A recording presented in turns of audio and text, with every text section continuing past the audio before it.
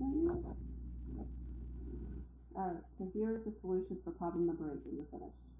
Again, remember, we're looking at values greater than or equal to zero. The critical numbers where it's equal to zero are coming from the numerator, so negative one and one third are included in the solution set, so make sure you put brackets around those values. So you're looking at solutions from negative two to negative one, and then one third to.